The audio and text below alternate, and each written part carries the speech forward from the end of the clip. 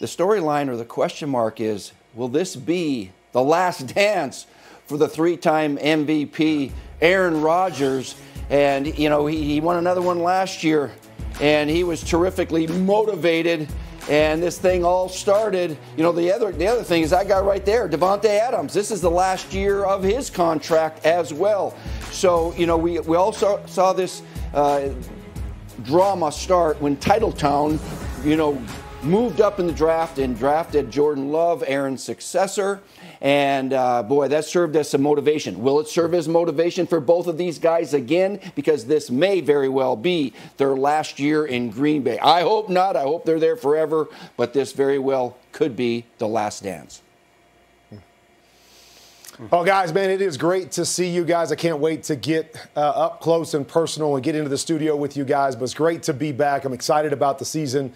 So many great storylines. But the entire offseason, we talk about the quarterbacks and we rank the rookie quarterbacks. And we're saying who's going to be the best. And this is why they're going to be the best in the NFL. Well, to me, week one is always our chance to find out what these young quarterbacks are going to look like. We got three of them that are starting on opening day. Can't wait to see how they come out of the blocks. We got two others that are putting a lot of pressure on their coaches to get them on the playing field as well. And so this to me is always the exciting part of the, the, the league year is first week. It's all about a quarterback driven league.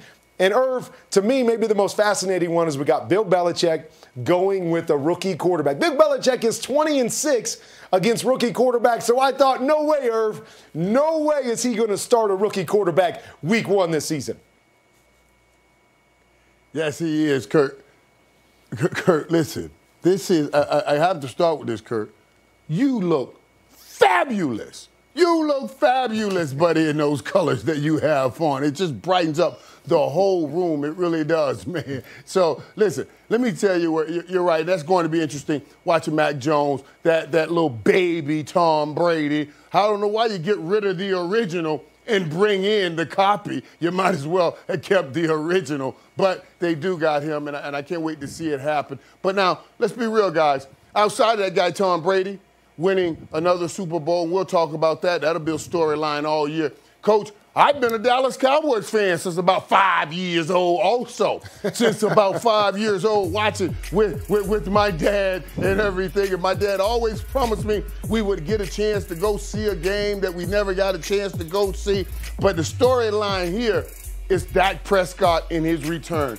I've been yelling it from, from all buildings that I've never seen anybody that faced more circumstances and challenges as they enter a season than Dakota Prescott faced this season. And so for, for all of it, I mean, we could talk about it all, coming back from the ankle injury, talk about uh, uh, having the shoulder injury in camp, going into the Lions Den, the same place I told you guys last year when I was the only one that picked Tampa Bay, that no way they would lose in that building. they would have that same intensity this game in that building. And you're facing the GOAT.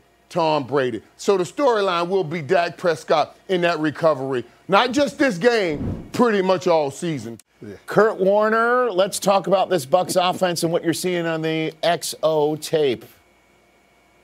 All right, let's do it, Rich. And I know when we talk about the Bucs, we think about Tom Brady and Evans and Godwin and Gronk and being able to throw the ball all over the yard. But the difference maker for this team last year was the play action. When they started running the football and creating play actions, all these play actions are going to come for the playoffs, and you're going to see the big, easy plays that they create for Tom Brady. Trying to get the play to Godwin down the left sideline, but nope. He reads through it. Now we get a big play to Cameron Brate back to the right sideline. Huge play in that game. Here's a huge third down conversion. We need to use Godwin to block a safety. Oh, no, we're not.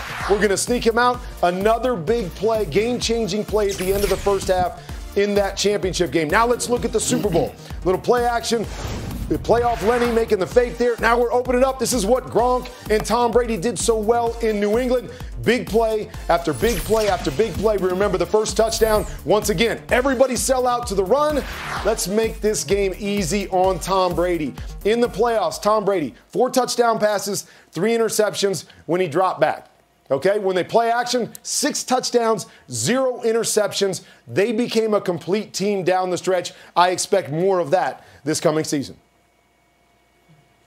Man, I, I, I expect more of it also, Kurt, and that's a dangerous, a dangerous thing. I've been talking about this, how how Tom Brady has perfectly mashed this no risk it, no biscuit offense with that inside game. Kurt, in that XO, you showed that whole middle opening up, poof, and Gronk just hitting the middle. And, and, and then he'll carefully the no risk it biscuit chance intelligently, like at the end of a half, when, hey, if I make it on the risk it, we get a touchdown, that's great, we get the biscuit, but you don't get the interception. If you do, you can't do anything with it because it's late in the game anyway. You would go all of those things, and then you're adding the talent that he's getting back, like O.J. Howard. It's just incredible what Tom Brady has an opportunity to do, and he has an opportunity to go back to back with his second team.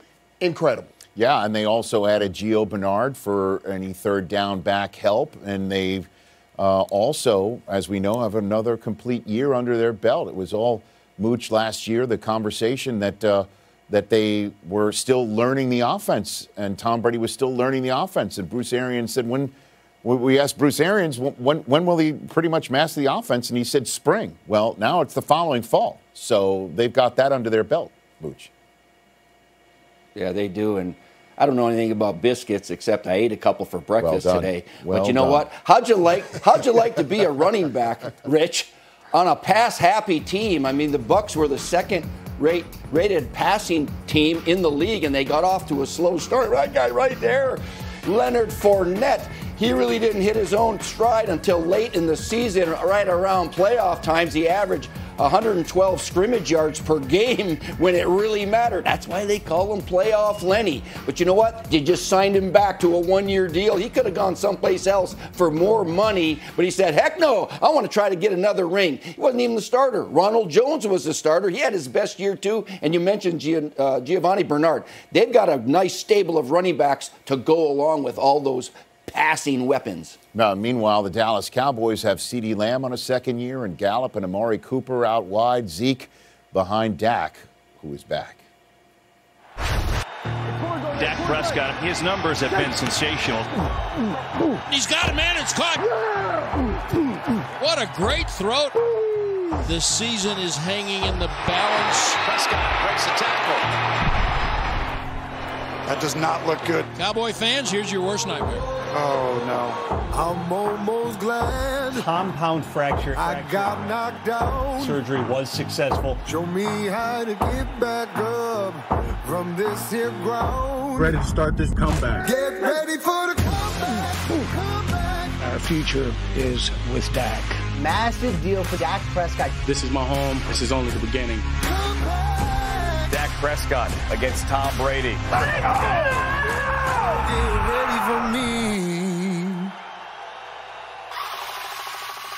All right, with that, we are going in Warner's corner, and we're taking the Cowboys in there. This is the most excitement we have about the Cowboys is always week one, Irv. So we got to take them in the corner in case they don't make it the rest of the year. But it's really all about that guy in the quarterback, Dak Prescott, and what I like to call GCP. Game changing plays. When Dak plays, this team is a big play offense. You're going to see it right here. We got a little Double post to the left hand side, step, slide, read that free safety, drive the ball down the field on the second level. Now we're going to see CeeDee Lamb over the top. Great movement here by Dak in the pocket, feels the pressure, slides to the right, sees it clear out, second level throw up over the top of the linebackers, and he drops it in nicely, and he's got all those weapons, right? We saw Amari Cooper, we see CeeDee Lamb, now we got Michael Gallup. Hey, I'm going to watch the rotation of the defense here, and I am going to attack down the field, safety on the backside hash. Let me lay it out there for one of my big time receivers, another GCP. When Dak played weeks one through five, they had 26 completions of 20 yards or more. The entire rest of the season, they only had 24. Dak Prescott is all about the GCP, Irv. Yeah, and I'm going to need him to be, well, let me say that right. The Dallas Cowboys are, are going to need him to be all about those game changing plays. But how he gets them done will be very important, especially now since Zack Martin maybe not playing, more, more likely will not be playing He'll have to get that ball out of his hands quickly because we watch how Patrick Mahomes got chased around, and he'll have to get it to those wide receivers. And I need them to make the game-changing plays also. Can't put it all on Dak. He has to get rid of the ball quickly. I need those guys on the outside to beat the guys on the outside for the Tampa Bay Buccaneers. Let's start with what's going on with TJ Watt. Let's start with that. What is going on with TJ Watt? Well, Mike Tomlin said today he is optimistic that a long term deal, which no doubt will make TJ Watt the highest paid defensive player in football, he's optimistic that a deal will get done and that regardless of that, TJ Watt will be at practice ready to work tomorrow, getting ready for week one. Well, I am not so sure. Based on what I know, it certainly seems up in the air whether or not TJ Watt is going to be practicing like normal tomorrow and gearing up for the game. They have been in intense long term contract negotiations really through the better part of the summer. And the way that the Steelers do their deals, they have a hard deadline of the first game. If they don't get a deal done by the first game, it is not getting done during the season. And this one has been incredibly difficult, challenging, Rich, because of the way the Steelers structure. They do not do full guarantees beyond year one. I do not know right now if that is something that TJ Watt will actually accept. If so, they may get a deal. If not, this could go for a very, very long time and could get could get difficult. Rich. Wow! And then the uh, old name from uh, from Steelers days of uh, I guess just a couple of years ago. It's remarkable. Le'Veon Bell is going to start the 2021 season where and with whom? On the Baltimore Ravens practice squad. Yes. Le'Veon Bell, the former Pro Bowler, big time star, is going to join the Ravens practice squad. And we know they have been dealing with several significant injuries in the running back room. J.K. Dobbins, Justice Hill, both out for the season. Le'Veon Bell is going to start on the practice squad mm. after having a seemingly a pretty good workout today. And if he gets elevated team, it probably will be pretty soon. We'll see how much he has left but a really solid chance to restart his career at a position of need in Baltimore. All right, I'll speak to you on my show tomorrow, 12:20 Eastern Time. That's when uh, Rap Sheet will be joining my program tomorrow, coast to coast. So, um, for 30 years, we were saying, well, with the new playoff format since 1990, on average, X number of teams that made the playoff one year missed the playoffs the following year. This is the first time, though, that we're going to have this conversation coming off a year with seven playoff teams having made it the year before. So, on average, we'll see more teams, I guess, miss the playoffs the year after making it and see a lot more change. So, I need from you guys who is going to be in this time around that was out in the expanded new playoff format last year, and who is out that's now going to be in. Michael Irvin, you are first up with this. Okay, listen. Uh, uh, I got, I, I got, I got. Of course, the Dallas Cowboys going in. you know, I, I, think this year, uh, last year, last year was just an issue with the Dallas Cowboys getting hurt and everything. I, I, these guys will be back healthy, back on the football team. So that was easy to put those guys in. And I wanted to talk about the Saints. So I'm talking about the Saints here also because I thought I just I just think God Almighty if they just had Mike Tomlin I can make sure that the, that the Saints are still good. But I know right there, with all that the Cowboys have, weapons wise and, and, and, and health wise, that they'll get in this playoffs, especially with their division. Boy, but I'm telling y'all something. This just me. I just wish the Saints had Michael Thomas because even with Jameis Winston, then that would give them a shot. Because Jameis Winston needs somebody to force him to play the short game, and Michael Thomas would have done that. Steve? Well, I had a chance to go over here to Santa Clara and watch the San Francisco 49ers have training camp and spent some good time with John Lynch and Kyle Shanahan and was hanging out with Jed York watching practice. All I can say is, wow, they have a heck of a football team. And like Irv just mentioned, you know, Dak got hurt last year and that derailed the Cowboy season. Well, half the team but the 49ers got hurt last year. A couple of guys on defense, Nick Bosa and Dee Ford, they're coming back some bookends. How about you fantasy people over here? How about the quarterback, starting quarterback? Jimmy G missed 10 games. Raheem Mostert missed eight. And Deebo Samuel missed nine. Kittle missed eight. They're all coming back. And when I watched them practice, it was like, look out. This looks like a Super Bowl team to me, and it's the best offensive line they've had in years. And you know what? The Bears at eight and eight. I'm sorry. With the quarterback situation in flux, I am just saying you, you're going to be out. You're going to be struggling to figure out who that quarterback is. Too little, too late, and uh, you're out. Kurt. All right, do I get to just jump right in? All right. I'm going to go to the AFC side. And, Rich, I know what the stats say. But, man, to me, it looks a lot harder on the AFC side because I see the only really one spot available on the AFC side. So I'm looking at three teams Denver Broncos, New England Patriots, and the Los Angeles Chargers as one of those teams that's going to get in. I look at those three teams and I look at the quarterback position. That young man right there that was the rookie, offensive rookie of the year in Justin Herbert, I'd say he elevates his team and he gets that last spot. And unfortunately, as much as I hate to do it, I love Frank Reich and I love what he does for his football team. But with all those injuries, that they've had early in training camp as they enter the season. I'm going to say, unfortunately, it's the Colts that will be out. Okay, that's Kurt's who's in and who's out. The Colts out. That's pretty harsh. Uh, I can't believe none of you mentioned the New England Patriots being in after they had an offseason with a spending spree that we've never seen out of New England before. Defensively, they've got a bunch of young playmakers. Also, they happen to go to the University of Michigan. And on top like- of I like that. I, I like that. I think that Bill Belichick and the Patriots will find their way in. Um, and then, uh, Mooch, I kind of agree with you. Well, I kind of agree with you. I agree with you on the Bears being out as well. Certainly, if Justin Fields is going to get in in the middle of the season and, and have to get up to speed um, fast in the middle of the season. On this edition of NFL Game Day season preview, uh, we are predicting who wins divisions. We're lockstep in six of the eight divisions. We all think the Bills, Browns, Titans, Chiefs will host a home playoff game.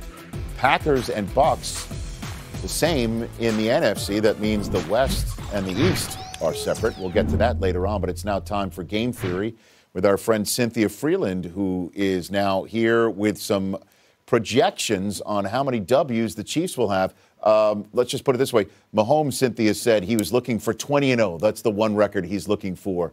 Um, I don't know what your model says, but I'll have uh, give you the floor on that one. Well, it's not impossible because he could likely do it if anyone could. I have them winning the most games in the AFC, 12.4.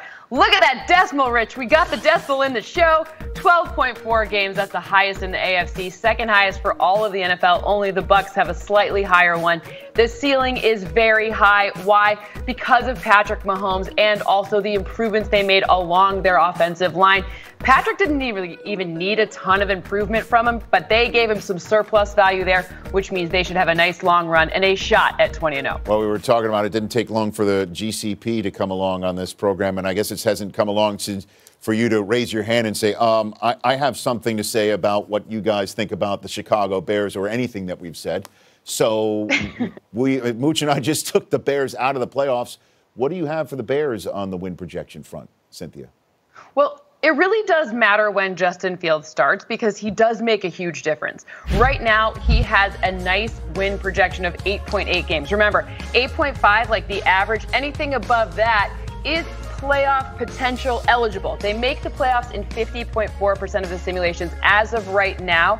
But if they start Justin Fields sooner and overcome an O line that, when I saw them in person doing the Bills preseason game, was uh, dicey. That's that's the word I'm going to use there.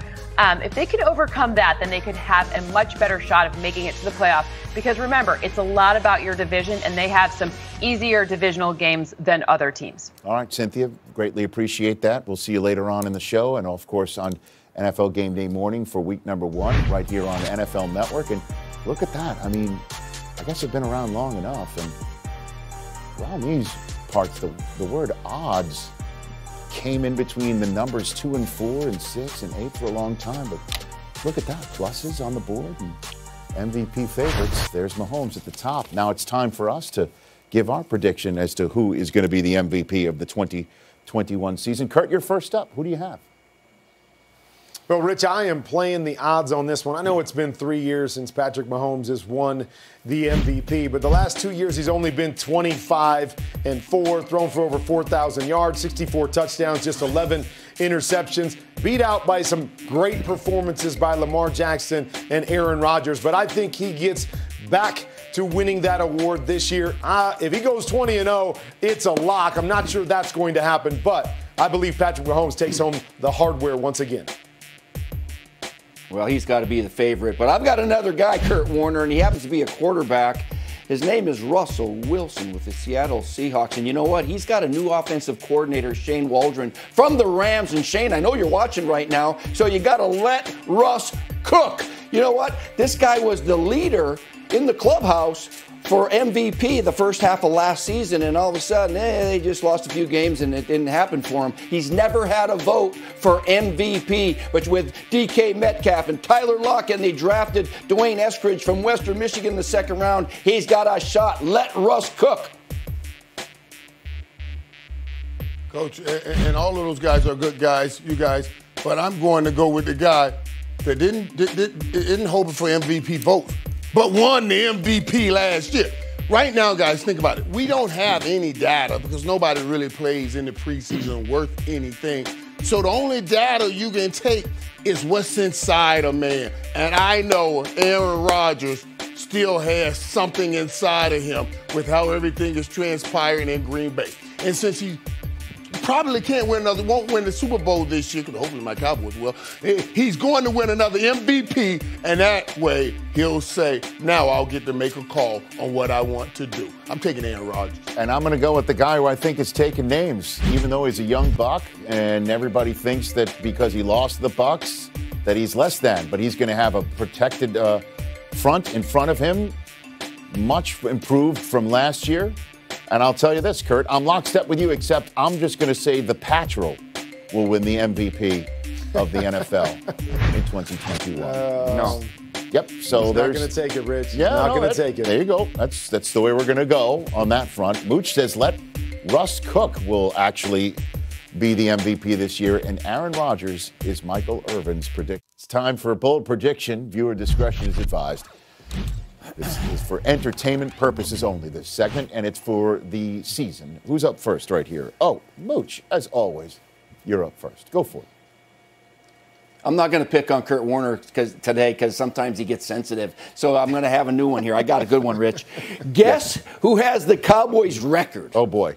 For receptions in a season by a receiver that wears number 88. Guess. Yeah. Yep. yep. Yeah, that's Irv. He's supposed to be right there. Okay, yeah. 111 in 1995. That's the year that you upset us in the NFC Championship game when I was coaching for the Packers. Anyway, guess who has the Cowboys receiving yards record in a season by receiver that wore 88? Mm-hmm. Yep. That guy right there.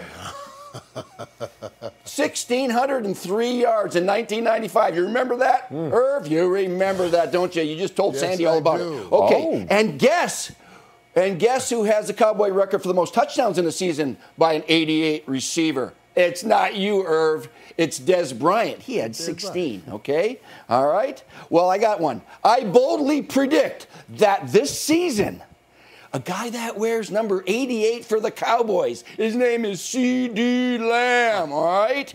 He's going to smash all of those records, and he will have 112 receptions, and he's got 1604 yards and 17 touchdowns. And Irv, they're going to kick you right out of the club. That's it. That's, that's All right, Mooch. There's only a big one. There's only one way to start the season, right? With bold predictions, is break all of Irv's records. I like that, and then start with a never. Ever. Now, we used to say that a quarterback's best friend was a run game. Well, it's a different NFL now. Now, the quarterback's best friend is a tight end. We've got a bunch of great tight ends. George Kittle coming back, Kyle Pitts down in Atlanta. So I'm going to say, never ever have we had three tight ends that have caught 100 passes or more in a season. I will say this year we will break that. This will be the first time we get at least three, and who knows, maybe we'll get four. Irv? Oh my God. Oh my God. Mm-hmm. Oh, oh, you know what? I just got what they call a revelatory gift. I mean, never have we laid off all the quarterbacks and everything. We gave all of my pass catchers some love here. All this means great things because what I'm boldly predicting, what I'm boldly predicting, and I'm trying to look after all of my babies out there, all of the young playmaking wide receivers, and I say they all have an uptick. The record for most receiving yards in a season by all my babies in the NFL is 132,689 yards.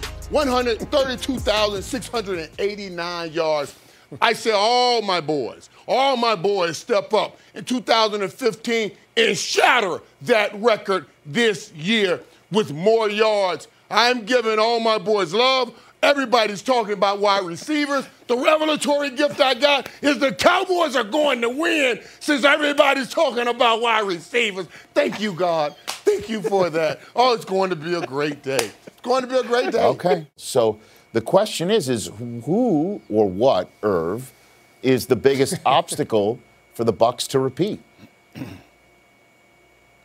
Well, we, we talk about this every year. And of course, we talk about having to match the hunger in the intensity of the other teams you got to play. We usually say 16 other games, but now it's even one more. It's 17 games, and you got to match the intensity of those guys. But remember this also, guys. Last year we talked about how Tampa was finding their offense. They were finding their offense. Late in the season, whoo, it clicked. Into the playoffs, it clicked. Now we know what Tampa is going to be doing on the football field. That means that's what every defense studied all off season. So they'll have to be ready to handle that challenge. Now that you know what your offense is, defenses will figure out what your offense is, and you still have to show up and beat them. Yeah, Irv and, and Rich, this is a tough one here because, you know, usually we talk about in the offseason, oh, they lost a few players that were key players. Well, they didn't lose anybody. You talk about having that X on your chest and everybody coming after them. Yes, I get that. We talk about maybe getting complacent because you have all these starters back and you won it a year ago. But I look at this team and I say, well, they're filled with a bunch of young guys that I don't think are in a position to get complacent, even though they won the championship last year. And maybe more importantly, they're led by that guy who's never complacent. If you think everybody else is just going to settle in and sit back and rest on their laurels from last year, Number 12 is not going to let that happen. And so I don't know what their big, big, biggest obstacle is. You know, having one of those games at a critical moment in the playoffs. But to me, this team will be back in the playoffs, and somebody is going to have to show mm. up and, to me, play a great game if they're going to knock this team off, Mooch. Yeah, you know what, Kurt? Not only are the 22 starters back, but the top 31 players on this team are back. Man, they are, I mean, it's amazing. It doesn't happen very often. And so the last time it happened was where all the starters came back from a Super Bowl win was in 1976. The Oakland Raiders, when they beat the Vikings with John Madden. So you know what I did? Yeah, I call up John Madden. I go, John, you, did you know you were the last team to return all your starters? He goes, Of course I knew that. And he says, You know what, Mooch? In 1977, the next year, we had a better team than the one that won the Super Bowl. I go, What happened? And he says, We had injuries. And I just, here's what happened to them. They were a good team, but they didn't win the division the next year. They had guys hurt, like, remember Phil Villapiano? He was the captain. He missed most of the season. Some of these names you're really going to recognize. How about in the secondary? Neal Colzie, remember him, Rich? Huh? Was he a Buckeye? George Atkinson, Jack Tatum? They all got hurt during the season, all right? And then uh, offensive line. They had a great with Gene Upshaw and those guys. Jack Vella, uh, uh, John Vella, he was one of their starters. He missed the whole season. And receivers, Irv. How about Cliff Branch being out some games? And, and Fred uh, uh Fred Biletnikoff and Mike Siani, they all missed. They couldn't go to their three receiver packages often. So it can happen to anybody. You're not in control of injuries. It happened to John Madden and those Raiders in '77. It could very well happen to the Bucs. And in terms of uh, reading your own newspaper clippings or feeling like you're a champion because you've already won one just the year before, obviously Brady is not going to allow any of that in the locker room. And Bruce Arians, as they're trying to repeat, he told me when uh, we spoke last week on my show that anytime that they talk about last year, it comes up, or he points to the banner that's going to be put up in the stadium, he's saying the phrase is "That's not you," even though, as we've just we've shown, there are all the starters are returning. So 22 guys could say, well, that actually was us, but that's the mindset that they're having going into this season to try and join the last repeat team uh, to do it, being Brady's 03 04 New England Patriots team. Then you got to go back to the 90s. There's the Broncos and Irv's Cowboys teams. You have to go back to the 80s and be beyond all that. But we're living in the here and now and that's how we bring Sarah Walsh in right now. Sarah, how is this team uh, health wise going into the opener in just a couple days? Well, Rich, this is a healthier team than they were a season ago, and that was a relatively healthy Bucs team. On Thursday night, it's likely they're going to only be missing one starter. That is safety Jordan Whitehead. He has been dealing with a hamstring issue in this camp. But OJ Howard, their former first rounder, he's going to be returning after he left week four with an Achilles tear, so he was out for the year. He said he's gone over and over in his mind just how great it's going to feel on Thursday night to be back out there. And then the guys that even even didn't miss games last year, they say they're healthier. And that includes Tom Brady, who says he's feeling the best he's felt in a long time after having his knee scoped this offseason. JPP also had his knee scoped, and he said he feels like he's going to have one of his healthiest years yet. He said, expect to see the JPP of 2010. Mike Evans, one of Brady's top targets, says he came into this training camp in the best shape he has ever been in. So you've got a team that's bringing everyone back, and even the guys that never really missed last last year say they all feel better. Brady admitted 22 seasons in, he's going to have butterflies. He said he's anxious, he's super focused, and that quest for ring number eight starts where it all ended last season, right behind me at Raymond James. And Rich, you called it advanced age. Yes. I'd like to just say maybe he's well seasoned. Well seasoned. I think that's even better. Uh, you've, in, you've improved our verbiage right here. That's Sara Walsh from Tampa, Florida. Let's bring in Ian Rapoport right now about the Dallas Cowboys and their health. Uh, Zack Martin is on the COVID 19 list. Any shot of him coming off of it because he did take the shot? Ian.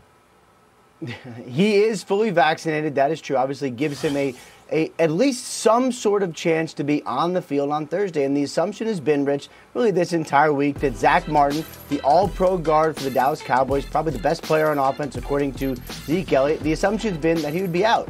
But he has not actually been ruled out. And Jerry Jones has been somewhat optimistic. Coach Mike McCarthy left the door open. There is a reason why that both these guys have said there is at least a slim chance he could play if he has no symptoms uh, tomorrow morning, if he tests negative tomorrow morning and then tests negative again on Thursday, 24 hours apart after having those symptoms, let's say for about 48 hours, then he actually is allowed to play. So, though we've been talking all week as if he won't play, the door is slightly open, slightly open for Zack Martin to play. We're not going to get a firm answer, at least probably until tomorrow, but obviously, certainly uh, by Thursday morning. Ian, greatly appreciate that. We all know as uh, We've mentioned throughout this program and throughout the training camp season on Hard Knocks that Dak Prescott is back, but it's the defense for the Dallas Cowboys that really is the biggest question mark coming into the season because it was the biggest question mark going into last year and it turned into an exclamation point and not in a good way. I mean, it was positively dreadful for Dallas last year. Dan Quinn is the new defensive coordinator, and a lot of folks think Michael Irvin that that's enough to immediately tighten the bolts on that defense, and we'll see what the rest of the personnel looks like in his scheme. What do you think about all that? Oh, listen, man. I, have talked about this for quite a while, Rich, and, and you guys know defense is, is, is about uh, communication and, and connectivity and everything. And, and, and I love how Dan Quinn has come in and communicated with, with this football team. And I do believe, and you talk to the guys, as a, here again, guys, as, as the guys have talked about, we don't have much information from the football field. But I tell you, when you talk to these guys, they love what Dan Quinn is doing, and they guarantee that defense is going to be better. But it's easy to be better. I mean, they were ranked 90th last year, so all they got to do is anything to be better than ranked 90th, and I do believe they will be. I do too. And Dan Quinn, he's been a defensive coordinator in college. He's been uh, with the Seahawks, and they went to a couple Super Bowls with him. He was a head coach and went to a Super Bowl with Atlanta. So he brings great credibility. But, you know, you got to tighten the bolts. Well, he can tighten bolts, but you got to have some good bolts, okay, Rich? And you know what they did? They said, we got to get better on defense. So they got younger and stronger and faster on defense. In fact, the, six, the first six choices in the draft were on defense. And we know all about Micah Parsons, and he's going to be a great player, probably a Pro Bowler very soon in his career. And another linebacker, Jabril Cox uh, from LSU, is going to be a good player, but Kelvin Joseph is a corner that he's probably going to play early. They're going to have a lot of young kids playing sophomores and freshmen, okay? You got Diggs and Gallimore from last year. They're going to be playing. It's going to be baptism by fire, all right? They're going to get tested early and often against Tom Brady and the boys, but they'll get better as the season goes along, and I think this defense is simplified, and it will play hard, and it will improve as the season wears on, or, or uh, Kurt?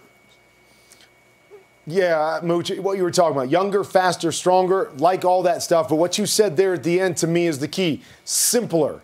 That to me is what this defense has to be about. Is last year, beginning of the year, it was big play after big play. Teams were just bombs away because there was all kinds of communication errors on the back end. Yes, it was in the midst of COVID. They had to try to install a defense through, you know, teleconference instead of being able to do it live. But what Dan Quinn always brings is a simplified defense. They love to close the middle. They love to drop an extra guy in the box. And he loves to say, run to the football and hit the football. We don't have to overcomplicate this thing. We believe we have players, athletic players, that can cover space and run sideline to sideline. We don't have to be great. As Irv said, they were 90th in the league. We don't need 90th. Give us 45th, right? Give us 32nd. Just be average this year with what we believe we can do offensively, and this team can take a huge jump. Well, if anybody uh, on Dallas wants to see what a front seven who can get after it and can defend and can make sure that nobody's also getting beyond them – and they can stop the run on the way to the quarterback, all they got to do is just look across the field and see what Dak's got to deal with uh, on Thursday night. And that's how we bring in you, Mooch, for Mooch's Minute. You have the floor. All right, thanks. Time for Mooch's Minute. Now, you know, we always talk about Tom Brady when we're talking about the Bucs and all of his weapons, and we should once in a while. But you know what? They have a good defense, too. Todd Bowles, the defensive coordinator, has one heck of a defense. In fact, they were first against the run and sixth overall. And a lot of the reason was because of those two great inside linebackers that they have on defense for the Bucs. Let's take a look. You're talking right here. Hey, Drew Brees last year says, hey, we got cover two man, okay? I know it. Everybody knows it. So I'm going to check the play. I'm going to find a single. I'm going to get my best player, Alvin Kamara, against Devin White, one on one. He's got the whole field to win. Okay, Devin, let's see what you got. Cover this guy. He's really good. All right, watch him break on the ball, and he knocks it out of there. That's a heck of a play. All right, how about Lavonte David, the other inside linebacker? He goes, well, let me cover Travis Kelce. all right? That's supposed to be a mismatch. You know, everybody said linebackers are too slow and DBs are too small. Well, he knocks that one down like he owns it. If you're going to cover, you also got to be able to blitz. All right, here comes Lavonte David. Watch him dish rag this running back, and down goes Taylor Heinicke. All right, let's bring them both while we're at it, okay? Todd Bowles, he likes the blitz. Here comes Devin White. Hit the MVP. There's a sack in the big game. These linebackers are unbelievable. They're sideline to sideline kind of guys. And you know what? If the Dallas Cowboy offensive line is a little nicked up, you know, with uh, Travis Mack, uh, and you got La'el Collins maybe out, Dak is going to be under heavy duress all day. I love this defense of the Tampa Bay Bucs. Yeah, thanks, Rich. Uh, Ray Davis enlightened us when he said, a challenge only becomes an obstacle when you bow to it. The Dallas Cowboys starting quarterback Dak Prescott has faced many great challenges this past 11 months, but he refuses to bow. Show them what you're here for. How we take the next step. That's the only thing that matters. How we get better today. How are you feeling now? I'm good. I'm healthy, excited, ready to go. Saw where you said on Hard Knocks that you sat enough last year. How hard was that process? Yeah, it was tough. I've never sat or been away from the game for that, that extent of time and just going through it for the first time and not being able to directly contribute to my team, to their success. It was a place that I, I learned a lot about myself. I became a better man, a better person, and I know a better football player because of it. To go through that process, just to have another injury in the Mhm. shoulder injury, how difficult was that? Yeah, it was difficult. It gives you a different sense of perspective. I learned how important patience was, of not getting out there too early, following what the doctor said and what the orders were given. I'd come back out on top of it. Okay, so, so we're good now. We're ready to move on and talk Yeah. about the good things. I did the game, that last preseason game, and they were showing a clip from Hard Knocks. And in that clip, that they had you and Zeke. One, we're gonna protect the football. When you got the ball in your hand, that's the whole team. Two, we're gonna protect the quarterback. And three, we're gonna do everything violently. That's blocking, that's running the ball, that's everything. Zach. Yeah, as a quarterback, we're going to be elite, efficient signal callers that are going to be consistent in our decision making and our leadership. What was the significance of you guys addressing the team?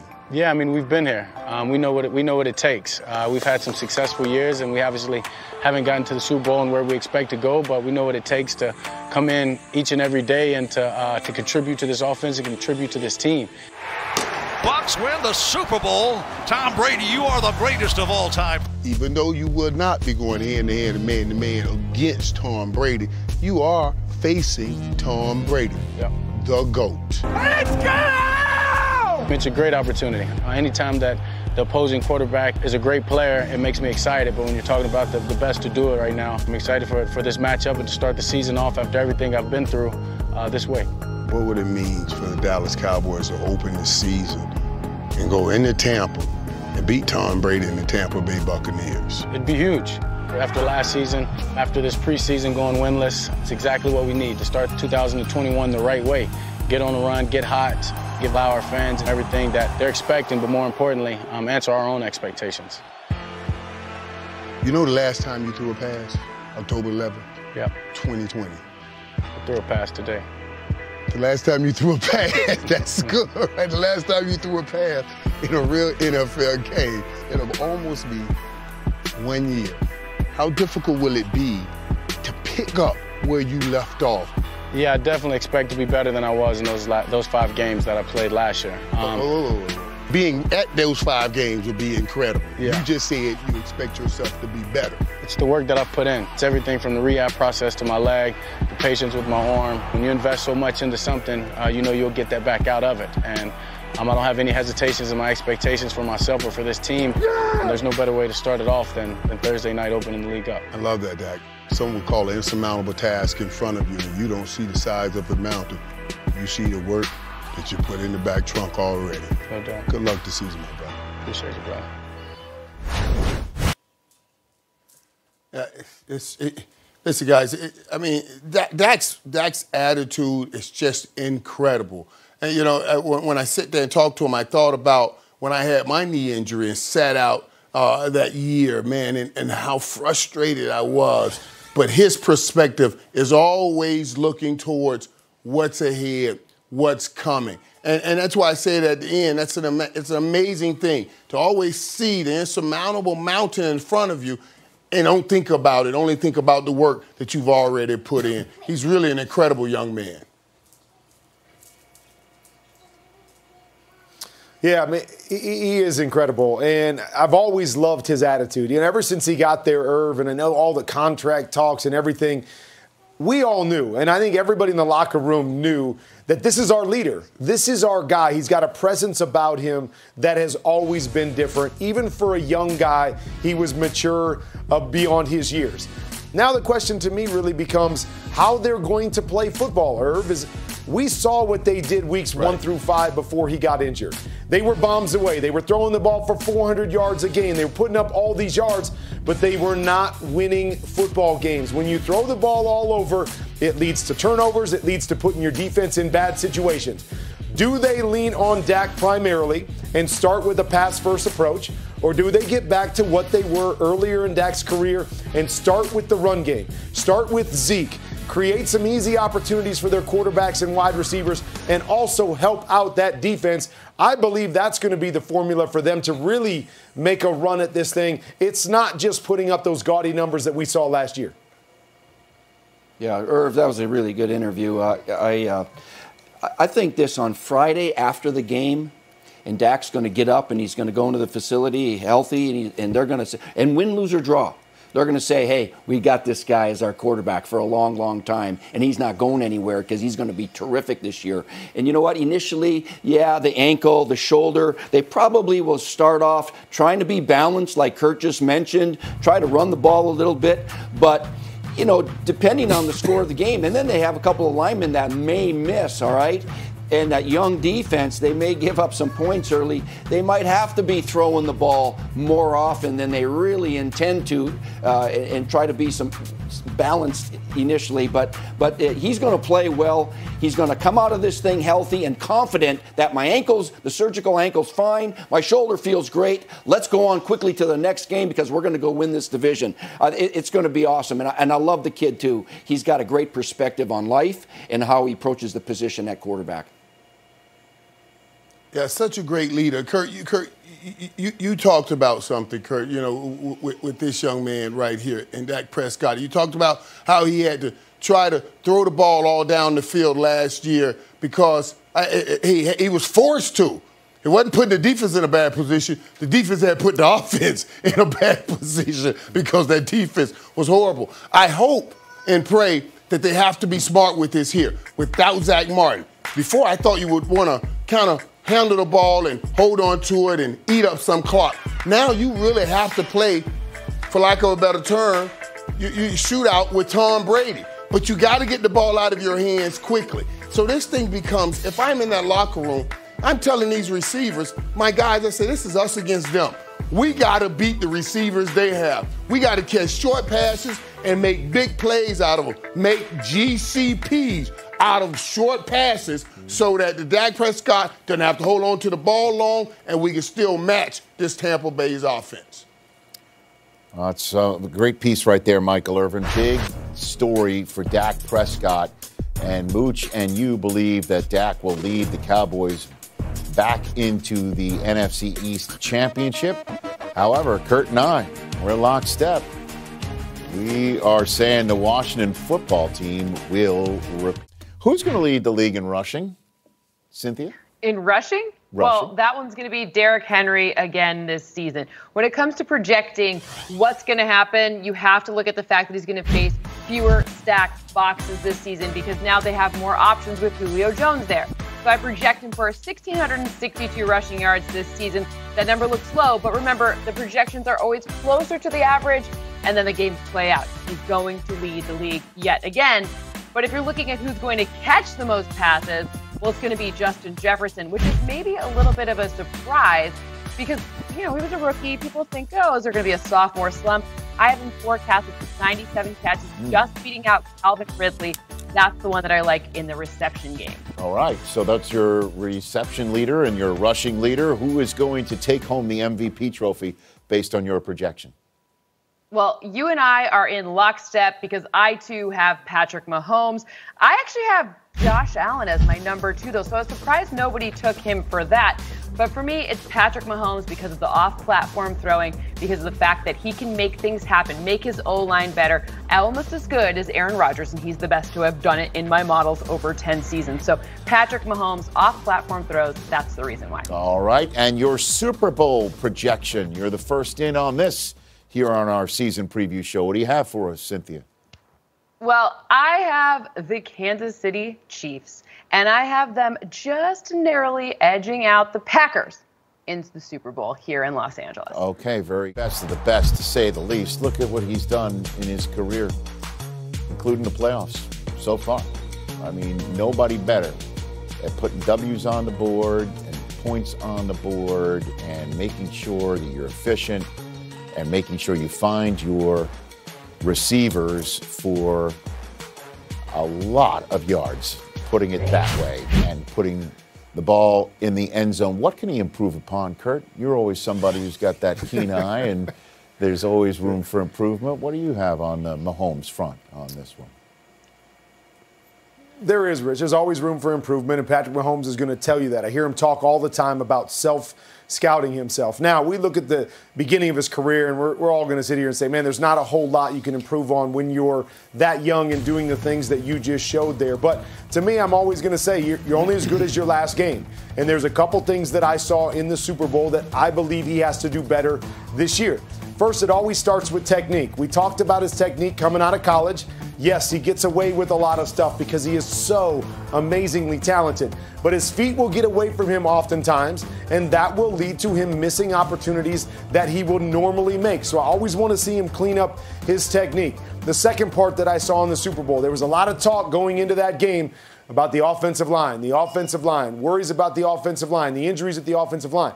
And I don't believe he went into that game and trusted those guys up front. He said to himself, I'm believing the hype. I'm going to run around and make every play. Well, sometimes you got to trust those guys when they give you no reason to trust them. They've got a, a revamped offensive line. A lot of new guys, good players, but a lot of new guys. I believe he has to go into this season and say, I got to trust those guys up front. I can't worry about those five. I've got to do my job. If I do that, I'll be just fine. Kurt, that's, that's very interesting, you know, because you, you see a guy like this, and, and, and, everybody talks about the things that he can uh, improve on and, and it, it, the basics. And, I, and, I'm like you, I'm like, I mean, I'll, I'll, try to improve on some of those things, but some of the things he gets away with is, is exactly what makes him him.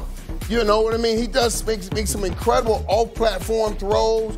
He makes some touchdown throws. Just some incredible plays, and it makes him him. Now, mitigating those things, knowing when I should do it and when I shouldn't do it is always going to be a decision. But I think he's always made the great decision in that sense. I, I, I, don't see anything he can improve on. Just keep doing what he's doing. Don't try to become Kurt Warner. Don't try to drop three, five, and seven and perfectly set up all the time when you have that movement in your ability to make plays off that movement. That's all I'm saying. I just don't know that there's much you can improve on. Just keep getting, just keep working.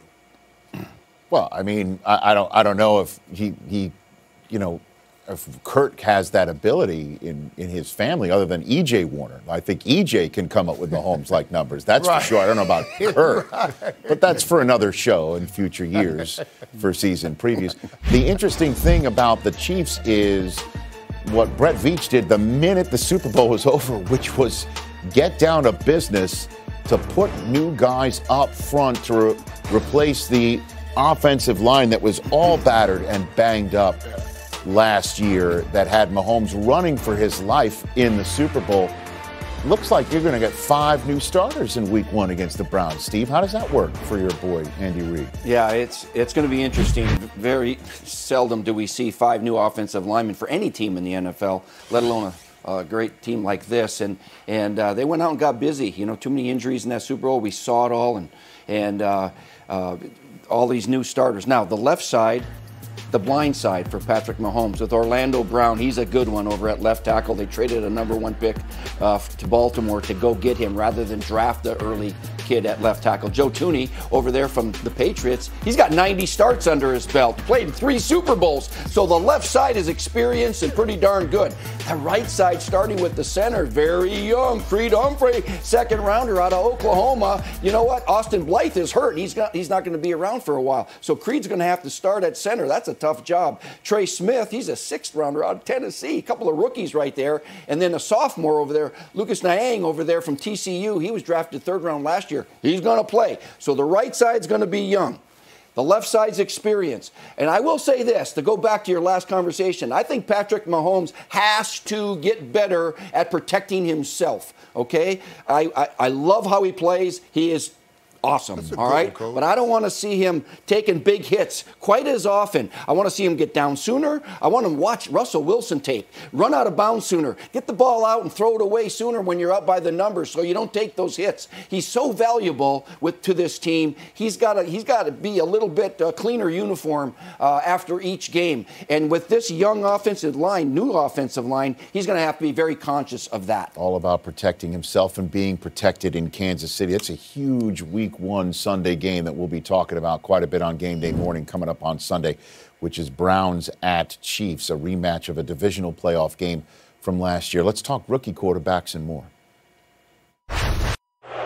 With the first pick, the Jacksonville Jaguars select Trevor Lawrence, quarterback Zach Wilson, Mac Jones, Trey Lance, Justin Fields. Ain't no stopping us. We do the impossible. There he goes, deep downfield. And that'll get Lawrence, the Jaguars, going. Right on cue, Justin Fields to the end zone. And there's a pass for a touchdown. Runs into the contact to get the first down. It's so easy. Wilson to the end zone. They go, and it's a touchdown. Ain't no stopping us. We do the that's a week one starter.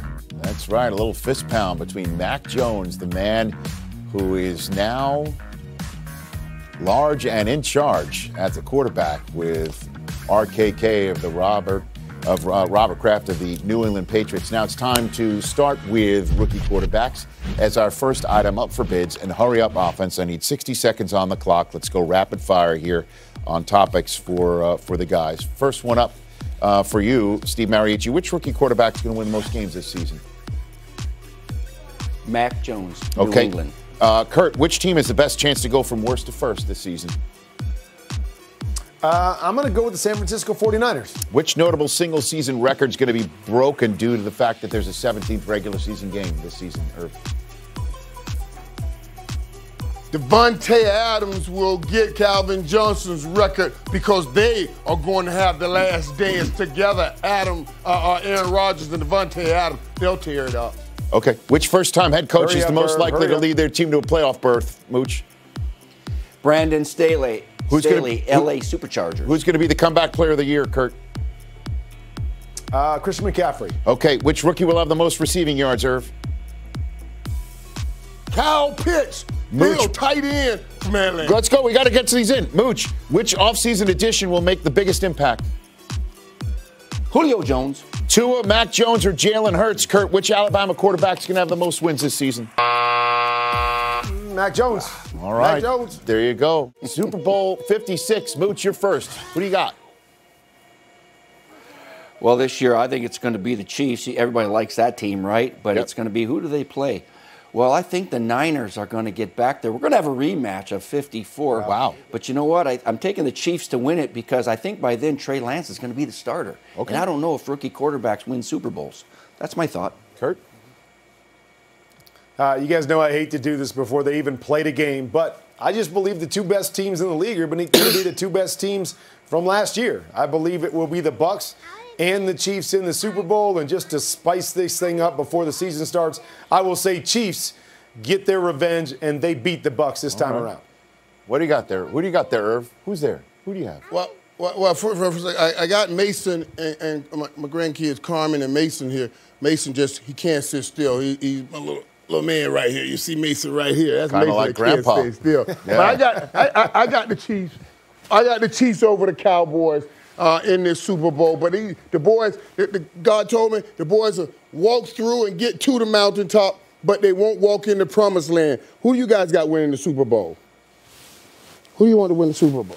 I wanna wear a pink dress and pink shoes. That's what you get to do when the Dallas Ah, Cowboys very go to the. Super Bowl. Very you good. get to wear the dress and the shoes you want. Terrific. That's what you get. All I love it. Hey, Um, I've been here's my- trying to do the show. They've been in the background talking all night. It's a tradition. So. A tradition unlike any other. Well done. Uh, my, I'm, I'm going to go with the Buccaneers over the Chiefs. It's been since your uh, early 90s, Irv, that we've seen repeat uh, back-to-back Super Bowls with the same um, participants. I think we're going to see it this year. I think Brady's going to do it again. Um, I'm, as you know, I'm done disbelieving in Tom Brady.